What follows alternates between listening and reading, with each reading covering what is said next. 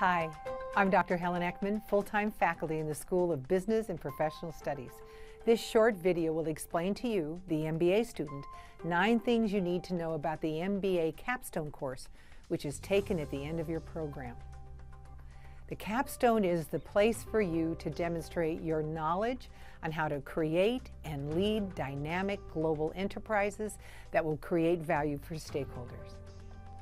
First, you will demonstrate understanding about the critical issues in business and will show what you have learned in the 12 core classes of the MBA, such as accounting, economics, supply chain and operations, finance, human resources, marketing, leadership, innovation, and strategy.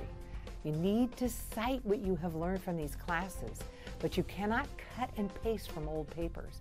Believe it or not, that is self-plagiarism. Second, for the capstone, you will create a business plan. You will need to demonstrate graduate level research, analysis, and writing. Your APA will have to be perfect. You will also present a short PowerPoint at the end of the project, and this will need to be delivered professionally as well. Next, application is the key word for the capstone. You are to show that you have learned everything from your 12 core classes, but that you can apply this information. For example, the business you start will not be something simple as a consultancy, as you have to show mastery of financials and a simple consultancy does not give you enough data to create meaningful financials.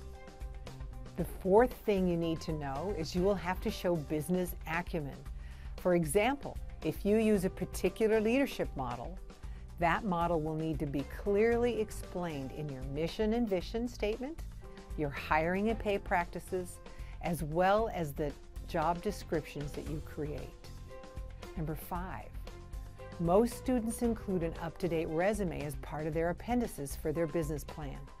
This is because the student is showing that their personal knowledge, skills, and abilities will help make this business plan successful. Sixth, you will have to demonstrate that you have learned the graduate voice, which means you are always presenting options and creating opportunities. You would never denigrate the competition or write about how badly some other business is performing. For example, you wouldn't write, wow, Taco Bell should not have tried to provide this new product without considering the cost. A professional way, an MBA way to write that is Taco Bell did not follow supply chain standards. And then you would cite SWINK, which creates an opportunity, and so on. You're a professional. Ensure that your writing is also. Number seven, you have to show that you are actually creating something new with your business. You, of course, will do a literature review at the beginning to show that you are knowledgeable about the field you wish to start a business in. But your idea needs to be fresh. Number eight, when someone reads your business plan, they need to know that you have completely researched, analyzed, and demonstrated that your business plan is workable.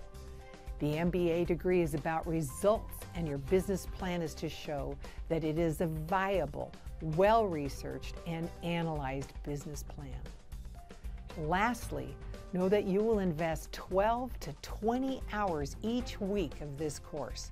Ideally, you would not take the capstone with any other class, but the catalog requires that the capstone be taken at the very end of your program.